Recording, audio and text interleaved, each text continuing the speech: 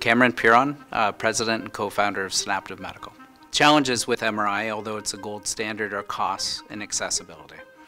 And the challenges with cost and accessibility is its size. I think there's been so much momentum with MRI for since its inception that people have just accepted higher and higher field meant better performance. And we really stepped back from that. And we really questioned all the elements of, of what made an MRI an MRI and built it up with a real passion and a commitment to make every element of it ideal. The assumption was bigger is always better. So a bigger magnetic field results in better results. And we really challenged that, that idea. And, and we really revisited what if we went to lower field? And then we realized lower field is just not going to produce the image quality you need. There's not enough signal. So the Goldilocks moment was being right in the middle, having a strong enough main field that could support really fast switching and really fast gradients. And, and, it really became a eureka moment where no one had tried that before. What we've done is we've created a superconducting magnet that operates at midfield but doesn't need cryogen. So that means it's lighter and it's smaller. And that means we can put it in more locations in the hospital.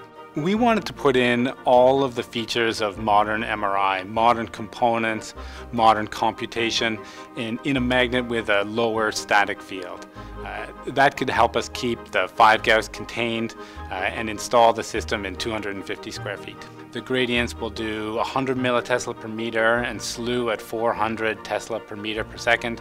Uh, and that's gradient performance that, that you won't find anywhere. We've taken out a lot of the variability in the system. So typically there's hundreds of knobs that you can tweak on the system to get the imaging just right.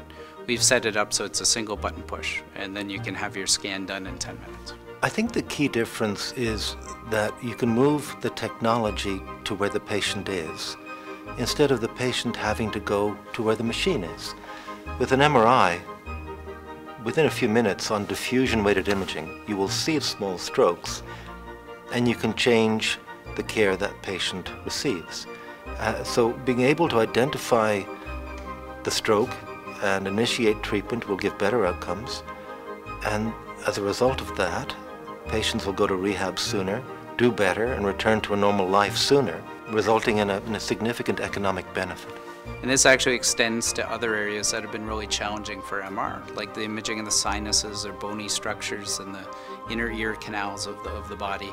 And it just so happens our system performs exceptionally in these areas. Going in the other direction with great gradients can achieve the same level of imaging that those higher field strength magnets can do without their weight, without the complexity, without the cost.